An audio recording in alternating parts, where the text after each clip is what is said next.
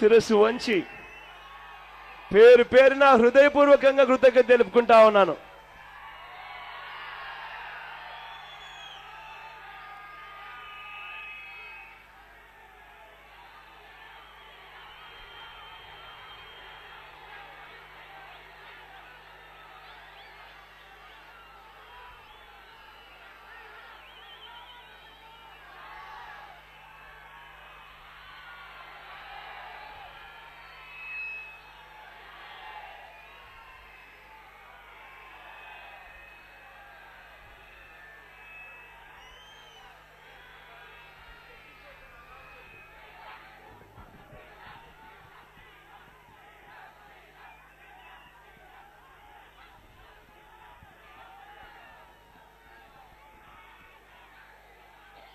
నా మూడు వేల ఆరు వందల నలభై ఎనిమిది కిలోమీటర్ల పాదయాత్ర జరిగింది. ఆ దేవుడి దయతో మీ అందరి చల్లని దీవెనలతో ఆ పాదయాత్ర నేను పూర్తి చేయగలిగాను. ఆ పాదయాత్ర ఇదే నియోజకవర్గం గుండా కూడా సాగింది. నాకు ఆ రోజు బాగా గుర్తుంది. ఆ రోజు మీరందరూ నా దగ్గరికి వచ్చి నాకు చెప్పిన ప్రతి సమస్య నాకు ఇవాళకి కూడా గుర్తుంది. ఆ రోజు మీరు అన్న మాటలు నాకు గుర్తున్నాయి. ఇక్కడే పోటు వస్తుందని ఆ పోటు వస్తే ఉద్యోగాలు వస్తాయని అభివృద్ధి చెందుతుంది అని చెప్పి గత పన్నెండు సంవత్సరాలుగా ఇది ఒక కలగానే మిగిలిపోయిన స్వప్నంగా మీరు చెప్పిన ప్రతి మాట నాకు గుర్తుంది. అప్పట్లో నాన్నగారు ఉన్నప్పుడు ఆ దివంగత నేత ప్రీతమ నాయకుడు రాజశేఖర రెడ్డి గారు నాన్నగారు ఉన్నప్పుడు ఈ పోర్టు నిర్మాణానికి నాన్నగారు శంకుస్థాపన చేశారు. ఆ తర్వాత నాన్నగారు మన మధ్య నుంచి వెళ్ళిపోయిన తర్వాత ఇక్కడ పోటు తేవాలి అని ఇక్కడ పోటు రావాలి అని పట్టించుకున్నవాడు ఒక్కడంటే ఒక్కడు కూడా లేని పరిస్థితులు ఇవాళ కనిపిస్తా ఉన్నాయి మనందరికీ కూడా. ఇదే పెద్ద మనిషి చంద్రబాబు నాయుడు గారు ఎన్నికల వేళ రెండు వేల పద్నాలుగులో అన్న మాటలు మీ అందరికీ కూడా బాగా గుర్తుండే ఉంటాయి. అప్పట్లో పోర్టు కోసం నాలుగు వేల ఎనిమిది వందల ఎకరాలు భూసేకరణ చేయడం కోసం ఒక అడుగు ముందుకు వేస్తే అప్పట్లో చంద్రబాబు నాయుడు గారు అన్న మాటలు పోర్టుకు నాలుగు వేల ఎనిమిది వందల ఎకరాలు ఎందుకు?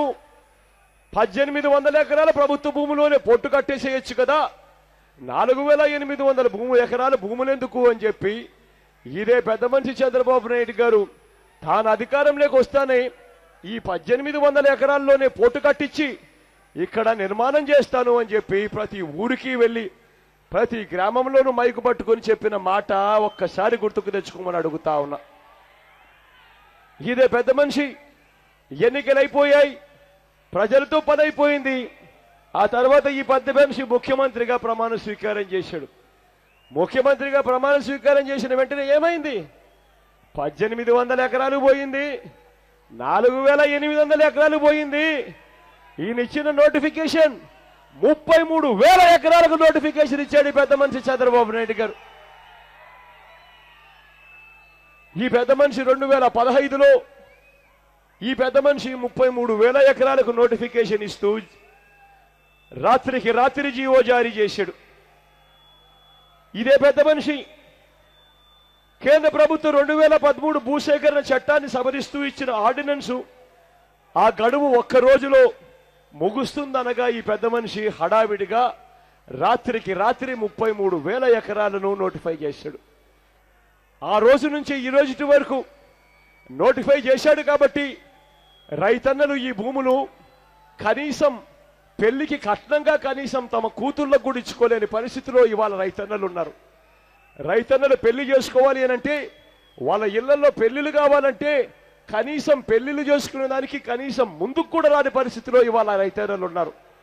ఆ రైతన్నలు వ్యవసాయం చేసుకోవాలంటే బ్యాంకు లోన్లు కూడా కనీసం పుట్టని పరిస్థితిలో ఆ రైతన్నలు మూడు సంవత్సరాలుగా రెండు వేల పదహైదు నుంచి ఇప్పటిదాకా అదే పరిస్థితిలో ఉన్నారు. ఇటువంటి దారుణమైన పరిస్థితిలో నేను కూడా వచ్చా. ఒకసారి కాదు రెండుసార్లు కాదు మూడు సార్లు మీ దగ్గరికి వచ్చా. ప్రతిసారి ప్రతి వచ్చి మీ అందరికీ కూడా నేను ఆ రోజు చెప్పా. నేను ఉన్నాను అని చెప్పి ఆ రోజు మీ అందరికీ కూడా భరోసా ఇచ్చా. ఆ ప్రతి రైతన్నకు నేను ఇవాళ చెప్తా ఉన్నాను. ప్రతి రైతన్నకు నేను ఇవాళ చెప్తా ఉన్నా. ముప్పై మూడు వేల ఎకరాలు అవసరం లేదు. కేవలం అదే నాలుగు వేల ఎనిమిది వందల ఎకరాల కన్నా ఒక్క ఎకరా కూడా ఎక్కువ తీసుకునే కార్యక్రమం జరగదు అని ప్రతి రైతన్నకు నేను హామీ ఇస్తా ఉన్నా. ఆ తర్వాత వాళ్ళ భూముల్లో రైతన్నలు ఏం చేసుకుంటారు అన్నది ఆ రైతన్నల ఇష్టం. అదే వాళ్ళ ఇష్టానికే వదిలిపెట్టాలే కానీ ప్రభుత్వం బలవంతంగా భూములు తీసుకోవడం అన్నది అన్యాయమైన విషయము అని చెప్పి మొదటి నుంచి మేము చెప్తానే ఉన్నాం. దానికి పూర్తిగా కట్టుబడి ఉంటానని చెప్పి మీ అందరికీ కూడా హామీ ఇస్తా ఉన్నా. రేపొద్దున దేవుడు ఆశీర్వదించి మనందరి ప్రభుత్వం అధికారంలోకి వచ్చిన తర్వాత ఖచ్చితంగా జరుగుతుందని చెప్తా ఉన్నా. ప్రకాశం బారేజు నుంచి వస్తున్న నీళ్ళు బందర వరకు రావడం లేదని ఐదేళ్ళగా రెండవ పంట ఐదు ఐదేళ్ళగా రెండు పంటలకు కనీసం ఒక పంట కూడా సరిగ్గా పండని పరిస్థితి కనిపిస్తా ఉంది అని చెప్పి రైతన్నలు అన్న ప్రతి మాట నాకు గుర్తుంది. ఆ రోజుల్లో నాన్నగారి హయాంలో కృష్ణా డెల్టా ఆధునీకరణ కోసం పనులు మొదలుపెట్టి ఆ తర్వాత నాన్నగారు చనిపోయిన తర్వాత ఆ కృష్ణా డెల్టా ఆధునీకరణను పూర్తిగా గాలి కొదిలేసిన పరిస్థితులు కూడా కనిపిస్తా ఉన్న పరిస్థితులు కూడా మనం అంతా చూస్తా ఉన్నాం.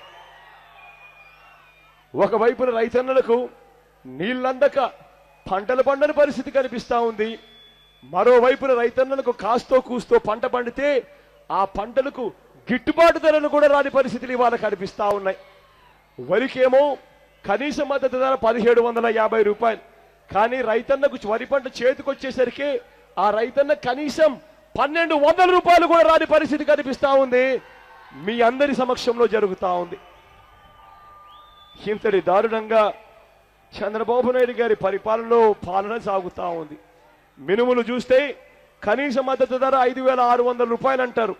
రైతన్నకు పంట చేతికి వచ్చేసరికి కనీసం నాలుగు వేల ఆరు వందల రూపాయలు కూడా రైతన్నకు రాని పరిస్థితిలో రైతన్న వ్యవసాయం చేస్తా ఉన్న పరిస్థితులు కనిపిస్తా ఉన్నాయి ఇక్కడే. మచిలీపట్నంలో చివరికి ప్రజలకు చేసింది ఏమీ లేదు కానీ ఇక్కడ జరుగుతూ ఉన్న భూ కబ్జాలు ఇక్కడ జరుగుతూ ఉన్న అన్యాయాల గురించి మాత్రం కథల కథలుగా ప్రజలు చెప్పుకొచ్చారు. ఇక్కడ భూ కబ్జాలు శ్మశానాలు వదిలిపెట్టడం లేదు. చివరికి బహిరంగ టాయిలెట్లు కూడా వదిలిపెట్టుకోకుండా భూ కబ్జాలు చేసే పరిస్థితి గురించి ప్రజలు చెప్పుకొచ్చిన మాటలు నాకు ఇంకా గుర్తున్నాయి. చివరికి బేల్ చివరికి బెల్ సంస్థ కోసం ఇరవై ఐదు ఎకరాల్లో ఇప్పుడు అవినీతి ఫ్లాట్లు ఇవాళ కట్టడం మొదలు పెడతా ఉన్న పరిస్థితులు చూస్తా ఉన్నాం. మీ అందరికీ నేను ఒకటే చెప్తా ఉన్నా. ఎవరైనా కూడా పేదవాడితో జీవితంతో చెలగాటలాడే వ్యక్తులను నిజంగా అవినీతి పనులను కూడా కాదు అనాల్సింది. అవినీతి రాక్షసులు అని చెప్పి అనాలా ఎవరినైనా కూడా. కారణం ఏంటంటే పేదవాడికి ఫ్లాట్లు కట్టిస్తారట. ఆ ఫ్లాట్లు కట్టడానికి ఎంత అవుతుంది అని చెప్పి ఏ బిల్డర్ని అడిగినా కూడా గవర్నమెంట్ ల్యాండ్ ఉచితంగా ఇస్తా ఉన్నప్పుడు సిమెంట్ సబ్సిడీ రేటుపై ఇస్తా ఉన్నప్పుడు ఆ ఫ్లాట్లలో కనీసం లిఫ్ట్ కూడా లేనప్పుడు గ్రనైట్ ఫ్లోరింగ్ కూడా లేనప్పుడు ఇటువంటి ఫ్లాట్లు కట్టడానికి ఎంత అవుతుంది అని అంటే ఏ బిల్డర్ అయినా మీకు చెప్తాడు అడుక్కు వెయ్యి రూపాయలు మించదన్నా అని చెప్పి మీకు ఏ బిల్డర్ అయినా చెప్తాడు.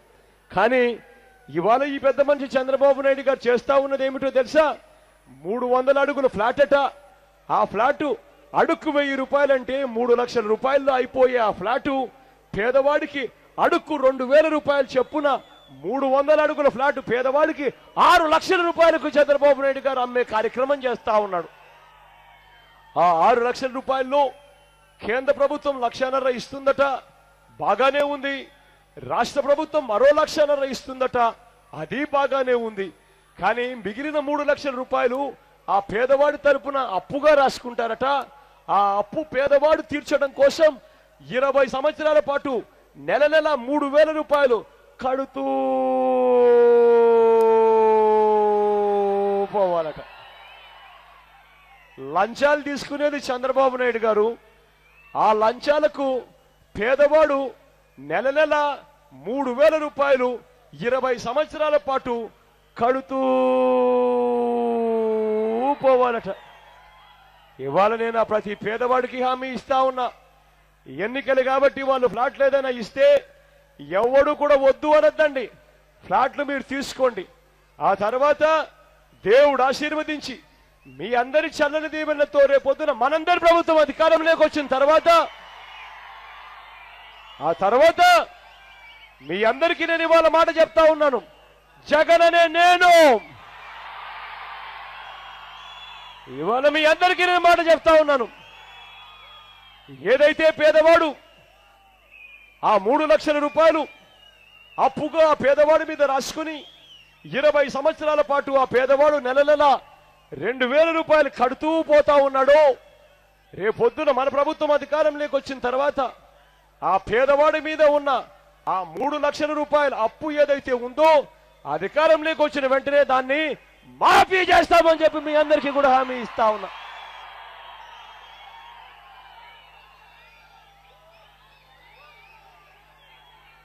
ఒకసారి మీ అందరికీ గుర్తుండే ఉంటుంది. నాన్నగారి హయాంలో ఒక్కసారి గుర్తుకు తెచ్చుకోండి. నాన్నగారి హయాంలో ప్రతి పేదవాడికి ఇల్లు ఇవ్వడమే కాదు ప్రతి పేదవాడికి ఇళ్ళ స్థలాలు ఇచ్చే రోజులు గుర్తున్నాయా మీ అందరికీ? నాన్నగారు హయాంలో ఇక్కడే ఇదే మచిలీపట్నంలో పేదవాడికి నాలుగు వేల ఇళ్ళ పట్టాలు ఇచ్చిన పరిస్థితులు ఒక్కసారి గుర్తుకు తెచ్చుకోమని అడుగుతా ఉన్నా. ఈరోజు అదే పేదవాడికి ఇళ్ళ స్థలాల కోసం అప్లికేషన్ పెట్టుకున్న వాళ్ళు ఎంతో మంది ఉన్నారో తెలుసా? దాదాపుగా పదివేల పైచిలుకు మంది ఇళ్ళ స్థలాల కోసం అప్లికేషన్లు పెట్టుకొని అయ్యా ప్రభుత్వం పెద్దలు అయ్యా చంద్రబాబు నాయుడు గారు మాకు ఇళ్ళ స్థలాలు ఇవ్వండి ఇల్లులు కట్టించండి అని చెప్పి ఆ పేదవాడు అడుగుతా ఉన్నా ఈ ఐదు సంవత్సరాలుగా కనీసం పట్టించుకునే నాతులు కూడా కరువైన పరిస్థితులు కనిపిస్తా ఉన్నాయి. ఇవాళ నేను మీ అందరికీ మరొక మాట ఇస్తా ఉన్నాను. రేపొద్దున దేవుడు ఆశీర్వదించి మనందరి ప్రభుత్వం అధికారంలోకి రాగానే జగన్ అనే నేను. మీ అందరికీ హామీ ఇస్తా ఉన్నా. ఇక్కడికి వచ్చేటప్పుడు నాని నాతో అన్నాడు దాదాపుగా పదివేల పైసలకు మంది అప్లికేషన్లు పెట్టుకున్నారన్న ఇళ్ళ స్థలాల కోసం ఏ ఒక్కరికి ఇళ్ళ స్థలాలు రాలేదని చెప్పాడు. మొత్తం నేను చెప్తా ఉన్నా పదివేల మంది అన్నా ఉండని అంతకన్నా ఎక్కువ మంది అన్నా ఉండని మొత్తం అందరికీ కూడా మన ప్రభుత్వం రాగానే అందరికీ ఇళ్ళ స్థలాలు ఇస్తాను అని చెప్పి కూడా చెప్తా ఉన్నాం. ఇళ్ళ స్థలాలే కాదు ఇల్లులు కూడా కట్టిస్తా కట్టించిస్తాను అని చెప్పి మీ అందరికీ కూడా హామీ ఇస్తా ఉన్నాం.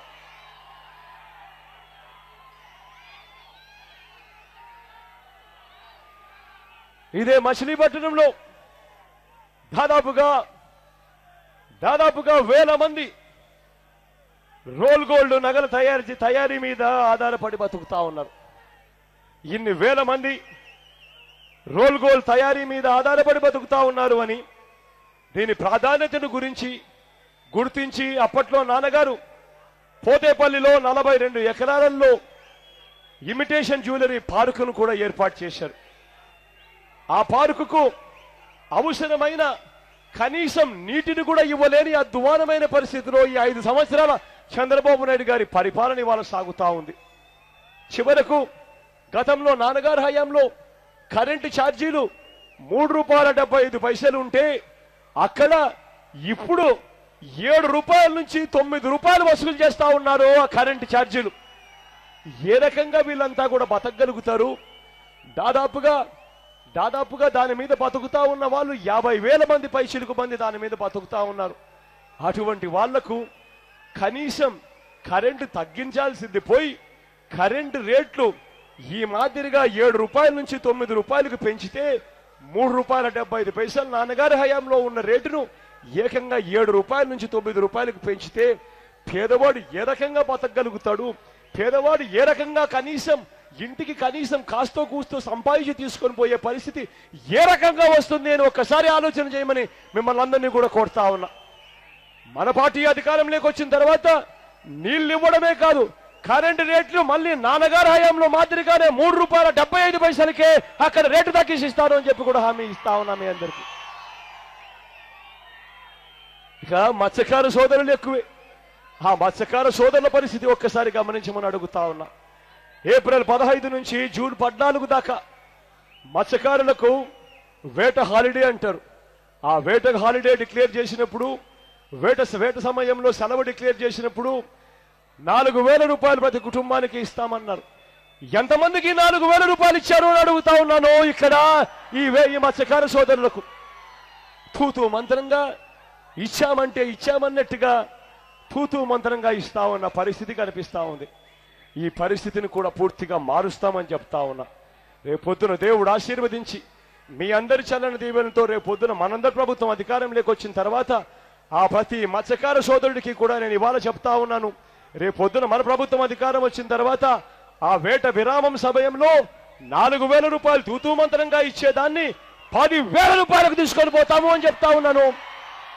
పదివేల రూపాయలు తీసుకొని పోవడమే కాదు ప్రతి కుటుంబానికి ప్రతి కుటుంబానికి తూతూ మంత్రంగా కాదు ప్రతి కుటుంబం దగ్గరికి వచ్చి గ్రామ వాలంటీర్ తలుపు తట్టి గ్రామ సెక్రటేరియట్తో అనుసంధానమై ప్రతి ఇంటికి కూడా డోర్ డెలివరీ చేసిపోతాడు అని చెప్పి కూడా హామీ ఇస్తా ఉన్నాం మీ అందరికీ కూడా.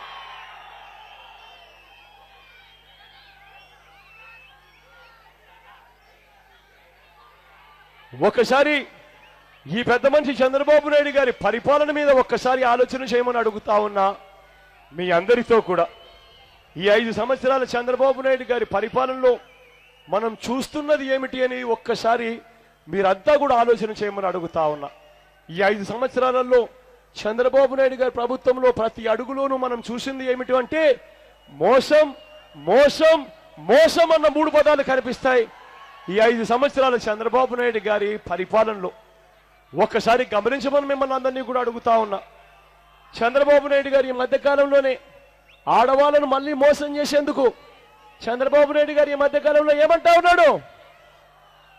పసుపు కుంకుమ అని చెప్పి ఈ మధ్యకాలంలో బిల్డప్ ఇస్తా ఉన్నాడు ఆడవాళ్ళను మోసం చేసేందుకు చంద్రబాబు నాయుడు గారు. ఒకసారి నేను ఇక్కడ ఉన్న ప్రతి అక్కను అడుగుతా ఉన్నా ప్రతి చెల్లెమ్మను అడుగుతా ఉన్నా. ఒకసారి ఆలోచన చేయమని మిమ్మల్ని అందరినీ అడుగుతా ఉన్నా పొదుపు సంఘాల్లో ఉన్న అక్క చెల్లెమ్మలకు. చంద్రబాబు నాయుడు గారు పసుపు కుంకుమగా నిజంగా పొదుపు సంఘాల అక్క చెల్లెమ్మలకు ఒక్క రూపాయి అయినా నిజంగా ఆయన ఇచ్చాడా అన్నది ఒక్కసారి ఆలోచన చేయమని మిమ్మల్ని అందరినీ కూడా కోరుతా ఉన్నా. కారణం ఏంటంటే ఎందుకంటే పొదుపు సంఘాలకు సంబంధించిన అక్క చెల్లెమ్మలకు ఈ ఐదు సంవత్సరం చంద్రబాబు నాయుడు గారి ప్రభుత్వంలో సున్నా వడ్డీ ఇచ్చిందా అని అడుగుతా ఉన్నా గతంలో వస్తా ఉన్నట్టుగా లేదా అని అడుగుతా ఉన్నా గతంలో వస్తా ఉన్నట్టుగా. కారణం ఏంటి అనంటే సున్నా వడ్డీ అన్న పథకం మే రెండు వేల పదహారు నుంచి ఈ పెద్ద మనిషి చంద్రబాబు నాయుడు గారు ఆ పథకాన్ని పూర్తిగా రద్దు చేశాడు కాబట్టి అడుగుతా ఉన్నాను ప్రతి అక్కను ప్రతి చెల్లెమ్మను. ఒక్కసారి ఆలోచన చేయమని అడుగుతా ఉన్న ప్రతి అక్కను. రెండు వేల పదహారు మే నుంచి వారికి ఒక్క రూపాయి కూడా సున్నా వడ్డీ పథకం కింద చంద్రబాబు నాయుడు గారు రద్దు చేసి ఒక్క రూపాయి కూడా సున్నా వడ్డీ పథకం కింద అక్కచెల్లెమ్మలకు చంద్రబాబు నాయుడు గారు ఇవ్వలేదు.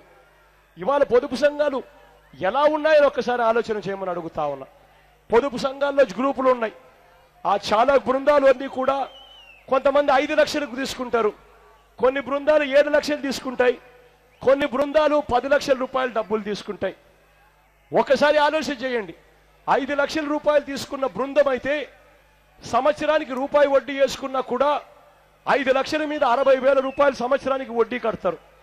అదే ఏడు లక్షల రూపాయలు తీసుకున్న బృందం అయితే సంవత్సరానికి రూపాయి వడ్డీ కింద వాళ్ళు కట్టే వడ్డీ సంవత్సరానికి ఎనభై నాలుగు వేల రూపాయలు వడ్డీ కడతారు. అదే పది లక్షల రూపాయలు తీసుకున్న బృందం అయితే రూపాయి వడ్డీ కింద వాళ్ళు సంవత్సరానికి కట్టేది కనీసం అంటే లక్ష ఇరవై వేల రూపాయలు కడతారు. చంద్రబాబు నాయుడు గారు మే రెండు వేల పదహారు నుంచి సున్నా వడ్డీ పథకాన్ని రద్దు చేశాడు కాబట్టి ప్రతి అక్కకు ప్రతి చెల్లెమ్మకు ఈ మూడు సంవత్సరాలలో వడ్డీ భారం ఎంత అని చూస్తే ఐదు లక్షలు తీసుకున్న అక్క చెల్లెమ్మ వడ్డీ రూపేనా ఈ మూడు సంవత్సరాలలో అరవై వేల రూపాయలు ఇంటూ మూడేళ్ళు అంటే లక్ష ఎనభై వేల రూపాయలు కట్టింది వడ్డీ రూపంలో. ఏడు లక్షల రూపాయలు తీసుకున్న బృందం అయితే ఎనభై నాలుగు వేల రూపాయల సంవత్సరానికి వడ్డీ కింద మూడేళ్ళలో కట్టింది రెండు లక్షల యాభై రెండు వేల రూపాయలు ఆ బృందం వడ్డీ కింద కట్టింది అక్క చెల్లెమ్మలు. అదే పది లక్షల రూపాయలు తీసుకున్న అక్క చెల్లెమ్మల బృందం అయితే వడ్డీ కింద లక్ష ఇరవై వేల రూపాయలు సంవత్సరానికి రూపాయి వడ్డీ కింద ఇంటూ మూడేళ్ళంటే మూడు లక్షల అరవై వేల రూపాయలు ఈ మూడు సంవత్సరాలలో అక్క చెల్లెమ్మలు వడ్డీల కిందనే కట్టారు. ఈ పెద్ద మనిషి చంద్రబాబు నాయుడు గారు గతంలో సున్నా వడ్డీకే రుణాలు ఇచ్చేది ఈ పెద్ద మనిషి రద్దు చేశాడు కాబట్టి వీళ్ళందరూ కూడా ఇన్నిన్ని లక్షల రూపాయలు వడ్డీలతో కడతా ఉంటే ఈ పెద్ద మనిషి చంద్రబాబు నాయుడు గారు ఎన్నికలు వారంలో ఉన్నాయంటే ఏం చేస్తా ఉన్నాడు? పసుపు కుంకుమ అని చెప్పి ఒక పేరు పెట్టి ఒక గ్రూపుకు లక్ష రూపాయలు ఇస్తా ఉన్నాడు. కనీసం వడ్డీలకు కూడా రాని పరిస్థితిలో ఇవాళ చంద్రబాబు నాయుడు గారు ఇస్తా ఉన్నారు అన్నది వాస్తవంగా అని అడుగుతా ఉన్నాను. ఐదు లక్షల గ్రూప్ ఐదు లక్షల రూపాయలు తీసుకున్న గ్రూపు వడ్డీలకే లక్ష ఎనభై వేల రూపాయలు కడితే ఏడు లక్షల రూపాయలు తీసుకున్న గ్రూపు వడ్డీలకే రెండున్నర లక్ష రూపాయలు కడితే పది లక్షలు తీసుకున్న గ్రూపు వడ్డీలకే మూడు లక్షల అరవై వేల రూపాయలు కడితే ఈ పెద్ద మనిషి ఎన్నికలప్పుడు ఎన్నికలప్పుడు వారం ముందు పసుపు కుంకుమ అని పేరు పెట్టి కేవలం లక్ష రూపాయలు ఇస్తే కనీసం వడ్డీలకైనా వచ్చిందా అని అడుగుతా ఉన్నాను ప్రతి అక్కకు ప్రతి చెల్లెమ్మకు. ఆలోచన చేయమని అడుగుతా ఉన్నాను. గతంలో సున్నా వడ్డీకి రుణాలు ఇచ్చే పథకాన్ని ఈ పెద్ద మనిషి రద్దు చేసి అక్క చెల్లెమ్మలను ఏ స్థాయిలో మోసం చేశాడో ఒక్కసారి చూడమని అడుగుతా ఉన్నా. అదే మాదిరిగా ఒక్కసారి రైతుల గురించి కూడా ఒక్కసారి రైతన్నలు ఆలోచన చేయమని అడుగుతా ఉన్నా. ఈ పెద్ద మనిషి చంద్రబాబు నాయుడు గారు ముఖ్యమంత్రి అయ్యే నాటికి రైతన్నల రుణాలు ఎనభై ఏడు వేల ఆరు వందల పన్నెండు కోట్ల రూపాయలు ఉండేటివి.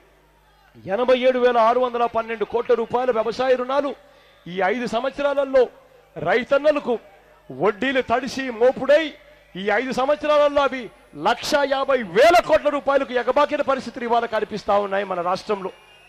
ఈ పెద్ద మనిషి చంద్రబాబు నాయుడు గారు చేసింది ఏమిటో ఒక్కసారి ఆలోచన చేయమని అడుగుతా ఉన్నా. ఈయన మొదటి సంతకం కింద ఎనభై ఏడు వేల ఆరు వందల పన్నెండు కోట్ల రూపాయలను కుదించేసి ఇరవై నాలుగు వేల కోట్లు అని చెప్పి సంతకం పెట్టాడు.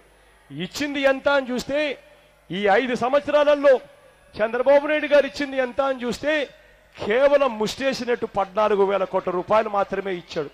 ఆ ఎనభై ఏడు వేల ఆరు వందల పన్నెండు కోట్ల రూపాయల మీద రైతన్నలకు కనీసం రూపాయి వడ్డీ వేసుకున్నా కూడా ఆ రైతన్నకు కనీసం పది శాతం వడ్డీ వేసుకున్నా కూడా ఆ రైతన్న కనీసం వడ్డీ రూపేణా సంవత్సరానికి ఏడెనిమిది వేల కోట్ల రూపాయలు రైతన్న వడ్డీలు కడతా ఉన్నాడు. ఈ ఐదు సంవత్సరాలలో రైతన్న కట్టిన వడ్డీనే ఎనిమిది వేల రూపాయలు ఇంటూ ఐదు సంవత్సరాలు అనంటే నలభై వేల కోట్ల రూపాయలు రైతన్నలు వడ్డీ కింద కడితే ఈ పెద్ద మనిషి చంద్రబాబు నాయుడు గారు ముష్టేసినట్టు ఇచ్చింది కేవలం పద్నాలుగు వేల కోట్ల రూపాయలు. ఒక్కసారి ఈ మోసాన్ని చూడమని చెప్పి మిమ్మల్ని అందరినీ కూడా నేను కొడతా ఉన్నాను ఈ పెద్ద మనిషి పరిపాలనలో. ఇక చదువుకున్న పిల్లల గురించి ఆయన చేసిన మోసాన్ని ఒక్కసారి చూడమని అడుగుతా ఉన్నా. ఆ రోజుల్లో ఎన్నికలప్పుడు ఏమన్నాడు? ఇంటింటికి జాబ్ అన్నాడు. జాబ్ లేకపోతే ఏమన్నాడు? ఇలా రెండేళ్ళు ఎత్తి చూపించాడు. చూపించి ఇంటింటికి నెల నెల రెండు వేలు ఇస్తాను అని అన్నాడు. అరవై అరవై నెలలు ఐదు సంవత్సరాల కాలము అని అంటే అరవై నెలలు ఇంటూ రెండు వేలు అని అంటే దాని అర్థం ఇంటింటికి లక్ష ఇరవై వేల రూపాయలు ఇవ్వాల్సిన ఈ పెద్ద మనిషి ఏమిచ్చాడు? కోటి డెబ్బై లక్షల ఇల్లులు ఉంటే దాన్ని తగ్గించి తగ్గించి తగ్గించి తగ్గించి తగ్గించి ఎన్నికలకు మూడు నెలల ముందు మాత్రం మూడు లక్షల ఇళ్ళకి తీసుకొచ్చాడు. తగ్గించి తగ్గించి తగ్గించి తగ్గించి ఆ తర్వాత ఏం చేశాడు? ఆ మూడు నెలల కాలానికి రెండు వేల రూపాయల నిరుద్యోగ వృత్తిని తగ్గించి వెయ్యి రూపాయలు చేశాడు.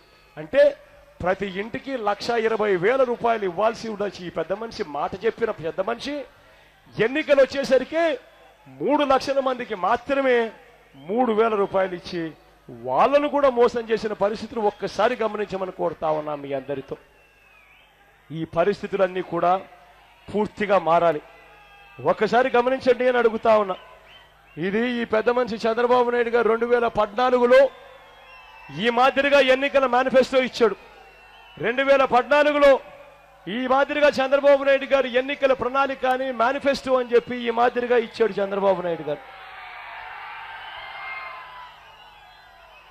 డెబ్బై ఏళ్ళ ముసలాయన కానీ బాగా మేకప్ గిప్కప్ వేసి బాగా ఇరవై ఐదేళ్ళ పిల్లల మాదిరి ఫోటోలు పెట్టుకొని ఈ మాదిరిగా బిల్డప్ ఇచ్చి ఎన్నికల రెండు వేల పద్నాలుగులో ఈ మాదిరిగా ఎన్నికల ప్రణాళిక ఇచ్చాడు. ఇచ్చిన తర్వాత ఇందులో నేను ఎక్కువ చదవను.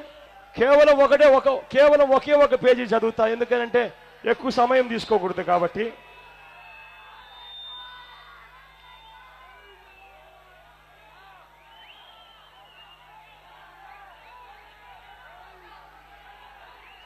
ఈ ఎన్నికల ప్రణాళికలో రెండు వేల పద్నాలుగులో ఆయన చెప్పినట్టు ఇచ్చి జరిగాయా లేదా మీరే చెప్పండి. వ్యవసాయ రుణాలు మాఫీ జరిగిందే అని అడుగుతా ఉన్నాను మీ అందరితో కూడా నేను. ఐదు వేల కోట్ల రూపాయలతో ధరల స్థిరీకరణ నిధి జరిగిందా అని అడుగుతా ఉన్నాను మీ అందరితో కూడా నేను. పొదుపు సంఘాల రుణాలు డాక్రా రుణాల మాఫీ అయ్యిందా అని అడుగుతా ఉన్నాను. అక్క అయిందక్క ఒక రూపాయి అయినా అయిందక్క. మహిళలకు భద్రత ప్రత్యేక పోలీస్ వ్యవస్థ వచ్చిందా అని అడుగుతా ఉన్నా మీ అందరితో కూడా నేను. ఆపదలో ఉన్న మహిళ సెల్ ఫోన్ చేస్తే చాలు. ఐదు నిమిషాల్లో సహ- సహాయం అందించగల వ్యవస్థ వచ్చిందా అని అడుగుతా ఉన్నా. అక్క వచ్చిందా? యువతకు ఉద్యోగము ఉపాధి ఇంటికో ఉద్యోగం వచ్చిందా అని అడుగుతా ఉన్నా మీ అందరికి. వచ్చిందా అక్క గుడిసెలు లేని ఆంధ్రప్రదేశ్. కనిపించిందా అని అడుగుతా ఉన్నా మీ అందరికీ. అక్క కనిపించిందా? పే- పేద పిల్లలకు కేజీ నుంచి పీజీ వరకు ఉచిత విద్య. వచ్చిందా అని అడుగుతా ఉన్నా మీ అందరికీ. అక్క వచ్చిందా? వచ్చిందా అక్క? ఎన్టీఆర్ సుజల శ్రవంతి పథకం ఇంటింటికి రెండు రూపాయలకే ఇరవై లీటర్ మినరల్ వాటర్. వచ్చిందా అన్న? వచ్చిందా అక్క? అవినీతి రహిత సుపరిపాలన. జరిగిందా అని అడుగుతా ఉన్నా అన్న? ఒక్కసారి ఆలోచన చేయన్నా ఒక్కసారి ఆలోచన చేయండి. ఇది రెండు వేల పద్నాలుగులో ఈ చంద్రబాబు నాయుడు గారు ఇచ్చిన ఎన్నికల ప్రణాళిక. మళ్ళీ ఇదే మాదిరిగానే మళ్ళీ మోసం చేస్తూ రెండు వేల పంతొమ్మిదిలో మళ్ళా అదే ఫోటో. మళ్ళా ఎన్నికల ప్రణాళిక. అదే ఫోటో. దీంట్లో ఏమంటాడు? దీంట్లో మొదటి పేజీలోనే చంద్రబాబు నాయుడు ఏమంటాడు? ఏమంటాడో తెలుసా రెండు వేల పద్నాలుగు మేనిఫెస్టోలో మిగతా హామీలన్నీ కూడా ప్రణాళికాబద్ధంగా ఐదేళ్ళలో పూర్తిగా అమలు చేశారంట. పూర్తిగా అమలు అయ్యాయని అడుగుతా ఉన్నాను నాన్న. ఒక పెద్ద మనిషి ఈ మాదిరిగా మోసం చేస్తూ ఉంటే ఈ మాదిరిగా అబద్ధాలు ఆడుతూ ఉంటే ఒక్కసారి ఆలోచన చేయమని అడుగుతా ఉన్నా ఈ వ్యవస్థలోకి మార్పు రావాలనా వద్దా అని ఒక్కసారి మీరంతా కూడా ఆలోచన చేయమని అడుగుతా ఉన్నా. ఏదైనా రాజకీయ నాయకుడు మైకు పట్టుకొని ఫలానిది చేస్తాను అని చెప్తే ఆ రాజకీయ నాయకుడు ఆ చెప్పింది ఎన్నికల ప్రణాళిక మేనిఫెస్టోలో పెట్టి ప్రజలను ఓటడిగి ఆ తర్వాత గెలిచిన తర్వాత ఆ రాజకీయ నాయకుడు అది చేయకపోతే తన పదవికి తాను రాజీనామా చేసి ఇంటికి వెళ్ళిపోయే పరిస్థితి తీసుకొని రావాలి. ఈ వ్యవస్థలేకి అటువంటి మార్పు తీసుకొని రమ్మని చెప్పి మిమ్మల్ని అందరినీ కూడా కోరుతూ ఈ చెడిపోయిన ఈ వ్యవస్థలోకి మార్పు తీసుకొని మిమ్మల్ని అందరినీ కూడా కోరుతూ ఈ చెడిపోయిన వ్యవస్థకు వ్యతిరేకంగా ఓటేయమని చెప్పి మిమ్మల్ని అందరినీ కూడా రెండు చేతులు జోడించి పేరు పేరున ప్రాధేయపడతా ఉన్నా. మన నవరత్నాల్లో మనం చెప్పిన ప్రతి అంశము ప్రతి పేదవాడి ఇంటికి తీసుకొని పోండి. నవరత్నాల్లో మనం చెప్పిన ప్రతి అంశము ప్రతి రైతన్న ఇంటికి తీసుకొని పోండి. తీసుకొని పోయి నవరత్నాలతో జీవితాలు ఎలా బాగుపడతాయో ఒక్కసారి ప్రతి అక్కకు ప్రతి చెల్లెమ్మకు ప్రతి అవ్వకు ప్రతి తాతకు కూడా చెప్పమని చెప్పి మిమ్మల్ని అందరినీ కూడా మనస్ఫూర్తిగా రెండు చేతులు జోడించి పేరు పేరున కొడతా ఉన్నాను.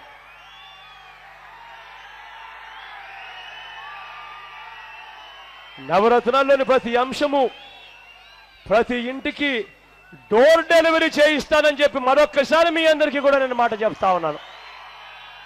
మీ చల్లటి దీవెనలు మీ చల్లటి ఆశస్సులు నా కుడివై నా కుడివైపున నానే ఉన్నాడు. మన పార్టీ తరఫున ఎమ్మెల్యేగా నేను చుట్టా ఉన్నాడు. యువకుడు ఉత్సాహవంతుడు సౌమ్యుడు అన్ని రకాలుగా మంచి చేస్తాడని నమ్మకం విశ్వాసం నాకున్నాయి. మీ అందరి చల్లని దీవెనలు చల్లని ఆశస్సులు నానిపై ఉంచవలసిందిగా కోరుతా ఉన్నా. నా ఎడం వైపున బాలశౌరి ఉన్నాడు. మన పార్టీ తరఫున ఎంపీగా నిలబడతా ఉన్నాడు. మీ అందరి చల్లని దీవెనలు చల్లని ఆశస్సులు వీరిద్దరిపై ఉంచవలసిందిగా సవినయంగా రెండు చేతులు జోడించి మరొక్కసారి పేరు పేరున ప్రార్థిస్తా ఉన్నా.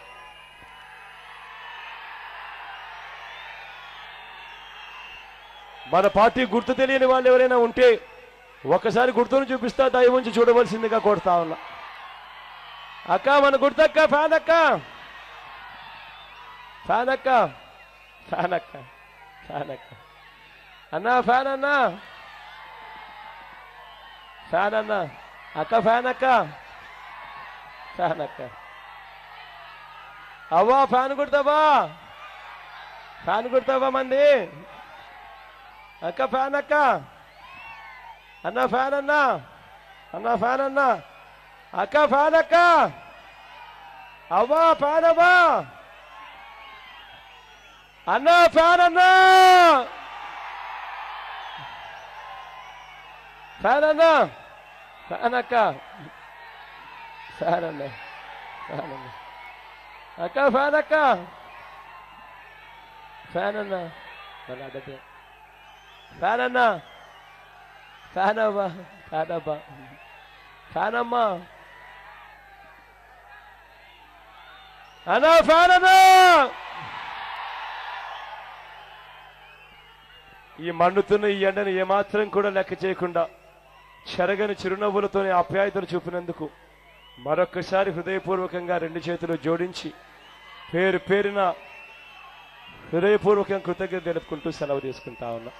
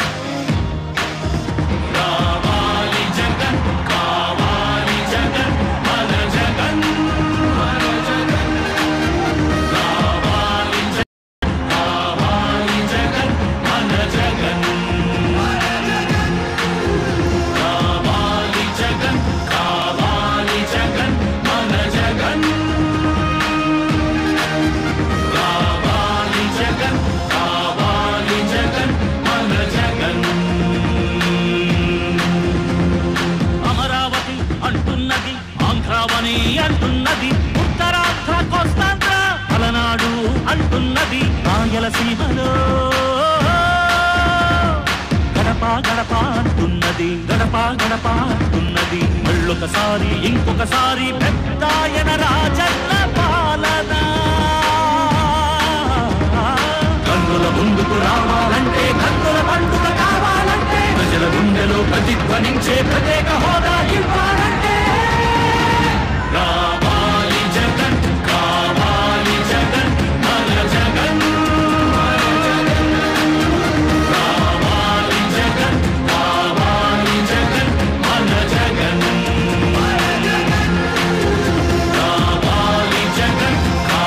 ఉందని కూడా మీకు చెప్తా ఉన్నా.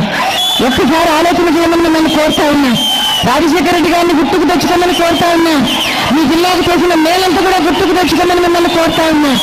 మీ ఇంటి ఆడబిడ్డ అడుగుతా ఉందని కోరుతా ఉన్నా. మీ మనవన్ని గెలిపించుకోమని జిల్లా వాళ్ళని కోరుతా ఉన్నా ఈరోజు.